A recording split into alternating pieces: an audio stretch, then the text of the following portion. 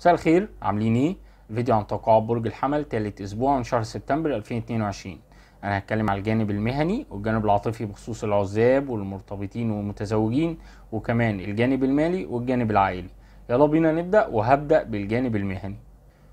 الجانب المهني المفروض إن في أخطاء كانت في الماضي لمواليد برج الحمل والأخطاء دي هتتصلح في الأسبوع الثالث من شهر سبتمبر.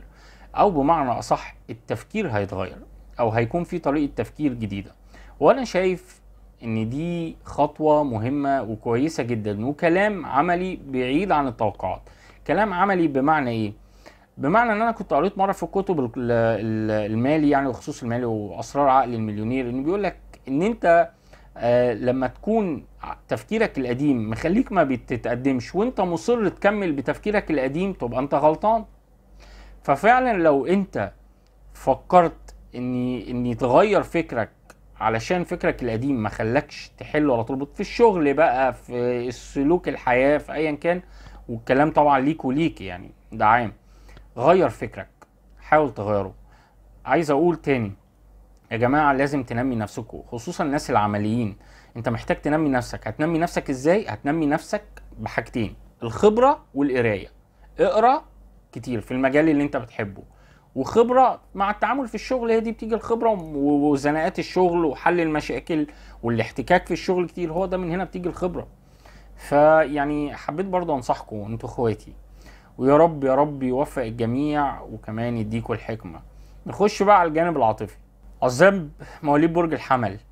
هيكون في فرص ارتباط ولكن في حاجة مطلوبة من المواليد أو نصيحة لمواليد برج الحمل إن هم يظهروا حبهم ويظهروا ولائهم يعني ما تحاولوش لما يجي لكم حد خصوصا البنات وأنت شايفاه إن هو كويس أو مشدودة ليه تداري ده. طب ليه؟ ما تخلينا واضحين من أولها عشان نمشي صح. خلينا ماشيين كده تمام عشان الدنيا تمشي صح. يمكن الشخصية دي كويسة والتمام اللي جاية لي دغري أنا كمان أجي له دغري ولا إيه؟ الحياة يا جماعة لما بتبدأ بالوضوح الوضوح ده أحسن حاجة. أنا عن نفسي بحب أبقى واضح في كل حاجة في شغلي واضح. ما حدش يفتش ورايا لأنه اللي هيفتش ورايا هيلاقيني هو اللي أنا كاشفه لك. فأنت مش محتاج. الوضوح بيريح وبيطمن بشكل كبير. حتى أقرب الناس ليا لما بنصحهم أقول له في شغله مثلا خليك واضح خليك واضح. هي دي. فعلا الوضوح في كل حاجة بقى مش في الشغل بس في الارتباط. الوضوح مريح. وعلى فكرة بيخليك في أمان. ليه؟ أنا كتاب مفتوح. اللي هيدور ورايا يدور. ما, أنا ما أنت عارف كل حاجة. ف ما بقولكش على الخصوصيات مثلا. ما بقولكش إن الوضوح إن أنت تروح تقول رصيدك في البنك مثلا ولا فيستك الرقم السري. ولكن بكلمك في الوضوح الطباع والحاجات اللي أنا لازم الطبيعي إن أبقى واضح فيها مش مش هخبيها. فدي حاجات مهمة. لازم نتعلم الوضوح. أكيد أنتوا فهمتوا إيه الحاجات اللي توضح وإيه الحاجات الخصوصية. الوضوح مطلوب بشكل كبير وهيخليكم في أمان. وكمان أنتوا محتاجين غير ان أنتوا تظهروا حبكم ولائكم محتاجين ده خصوصا الولاد تبين مصداقيتك مصداقيتك اللي هي الارتباط الجاد. ده من الآخر. أي بنت عايز أقول برضو للولاد لما بتلاقيك داخل ارتباط جد وداخل على البيت يعني داخل كده تخبط على البيت هي بتطمن. متفقين؟ طول ما انت ما جيتش جنب الأهل البيت هي مش مطمنة حتى لو بتحبك. هي برضو من جواها أنا واثق أي بنت هتفضل قلقانة. ليه؟ لأن هي عايزة تستقر عايزة تحس إن هي ماشية صح. والصح إيه؟ إن أهل البيت يعرفوا. فطبيعي جدا طبيعي جدا لو أنت داخل على ارتباط بمصداقية إنها تقول لها أنا عايز أقابل حد من البيت. مفيش ظروف أو ممكن تأجلها ولكن ده رأيي الشخصي لازم تنجز في الموضوع ده لو انت شاري الإنسانة دي. ده رأيي الشخصي وده الصح ودي الأصول كمان والأصول ما تزعلش. خش بقى أنا رغيت كتير بس أنتوا عارفين أنا بحب أنصحكم بضمير. ويا رب يبعت لكل ولد وبنت الشخصية المناسبة دي أهم حاجة. المتزوجين بقى والمرتبطين. قريت للمتزوجين والمرتبطين أسبوع مستقر جدا أسبوع الثالث من شهر سبتمبر وكمان تسير الأمور بسلاسة. واخدين بالكم السلاسة دي؟ بلاش نكش. خصوصا الزوجات. بلاش والبنات. بلاش نكش. والرجالة طبعا برضو بلاش نكش يعني. بس عشان هم برضو أحيانا بيجي لهم كده بيطلعوا بحاجات بينكشوا فبلاش نكش يا جماعة. تخلي الأمور ماشية مستقرة ونحمد ربنا إنها ماشية مستقرة وبلاش نكش. الحاجات اللي ينفع ما نتكلمش فيها وما ننكش فيها خليها ماشية كده الدنيا هادية خلينا في استقرار شوية. ويا رب يهدي سر كل بيت ويكمل للمرتبطين على خير. خش بقى على الجانب المالي.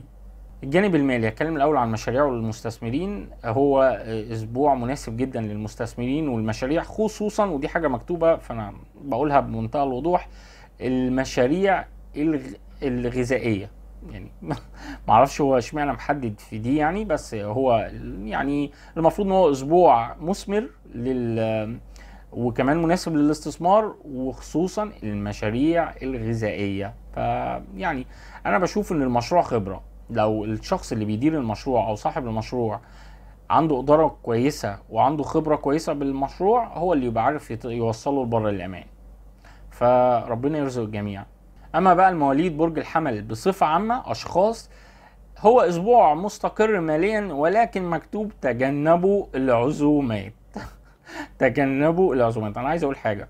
لو أنت ظروفك ما تسمحش أو اللي معاك على القد بوكيت ماني يعني على القد ال- الفلوس اللي موجودة في الجيب عشان بس في ناس بتفتكر إن أنا بتكلم بقى تناكة. لأ الفلوس اللي موجودة في الجيب في الكيس ده على القد خلاص خليهم معايا عشان يمشوني آخر الشهر. مفيش داعي ولا أعزم ولا تعزم. لأن أنت لو اتعزمت طبيعي إن أنت تعزم. ف يعني أنت هتلاقي نفسك عايز تعزم. ده طبيعي. حتى لو اللي قدامك مش مستني ده وشبعان فأنت طبيعي إن أنت عايز تعزم. ده الصح يعني. فانت لو وانتي الفلوس اللي موجودة على القد خلاص. مفيش مشكلة لما نعدي العزومات الأسبوع ده والشهر سبتمبر كله مفيش مشكلة على فكرة خالص. ويا رب يرزق الجميع ويديكوا كمان الحكمة في الإدارة المالية يعني. يلا بينا نخش على عائلي. الجانب العائلي أسبوع آه، فيه تجمعات عائلية وكمان مبهجة جدا. ده غير إن في أشخاص هتحضر يعني في التجمعات دي هتكون سبب في بهجة كبيرة للعيلة. يعني أنتوا عارفين في أشخاص كده فرايحي دايما قفشات وصوتهم عالي في العيلة وضحك وكده. أشخاص دي بتبقى حلوة وفعلا بتعمل جو جميل في العيلة و يعني بيكون وقت سعيد. واتمنى ده ويا رب دايما كل عيلة مش برج الحمل بس كل عيلة في الدنيا تتجمع على فرح وسعادة وضحكتها تملى البيوت يعني. ودي كانت توقعات برج الحمل لتالت أسبوع من شهر سبتمبر 2022 لو عجبك الفيديو عجبك ما تنسوش دعموني ب like. ولو مش مشترك أو مشتركة يا ريت تشتركوا عشان تشوفوا كل جديد من فيديوهات منوعه على فكرة لو أنت أو أنت أول مرة تشوفوني أنا كمان بعمل فيديوهات أحيانا معلومات عامة. هتلاقوني سايب لكم link الفيديوهات في الوصف في ال description تحت. أتمنى إن الفيديوهات تعجبكم. متشكر قوي ليكم مع السلامة.